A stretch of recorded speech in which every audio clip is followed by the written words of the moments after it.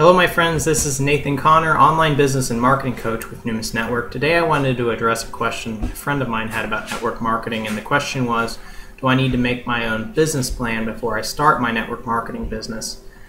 My answer is yes and no. When you start a network marketing with network marketing, what they will do is they'll give you a business training kit and marketing materials to get you started.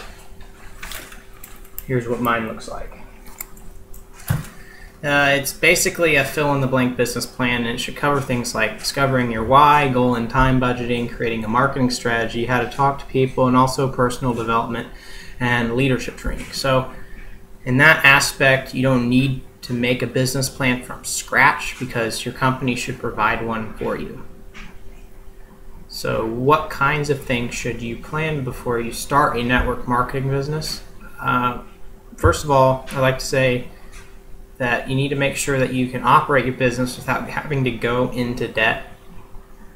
Uh, normally, when you write a business plan, it's for presenting to investors for seeking financing. You don't need to be going into debt to start a business that costs $500 or less. I mean, it's just not needed. So, although it's and although it all uh, usually requires $500 or less to start a business, uh, you know, it, it might be a good idea to uh, have eight hundred to thousand dollars to invest initially with other, you know, training manuals and other things like that, just to give you a head start.